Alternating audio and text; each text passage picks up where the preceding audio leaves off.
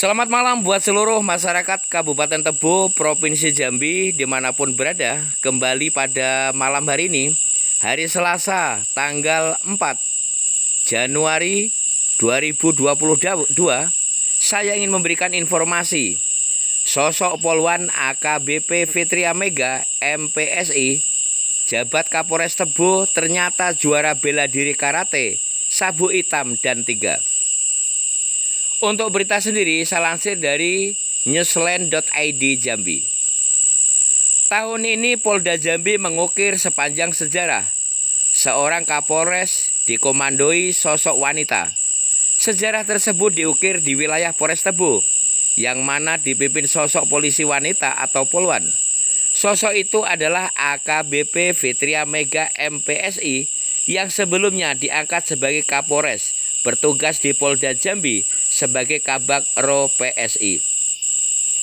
Menirik sosok AKBP Fitria Mega, di balik keanggunannya ternyata beliau juara bela diri karate AKBP Fitria Mega yang kelahiran Jakarta tahun 1977 merupakan alumni PPSS tahun 2002. Dan beliau mempunyai enam saudara dan panutan sosok suami yang seorang abdi negara sebagai pamen Polri dan dikaruni dua orang putri. Mengenai prestasi AKBP Fitria Mega, dengan segudang prestasinya, beliau juara satu SEA Games di Brunei Darussalam tahun 1999, juara satu PON ke-20 Sidoarjo Jawa Timur di tahun 2000, juara dua kejuaraan Pasifik di Singapura tahun 2000, juara tiga kejuaraan dunia Ladies Open Turnamen Tokyo Jepang tahun 1999.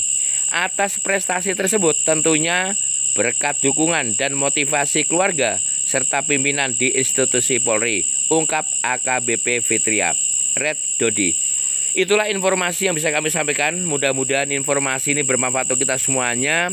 Admin mengucapkan selamat datang buat AKBP Fitria Mega MPSI yang insya Allah pada hari Kamis yang akan datang akan dilantik menjadi Kapolres Tebu di lingkungan Polres Tebu. Itu saja bisa kami sampaikan. Mudah-mudahan bermanfaat untuk kita semuanya.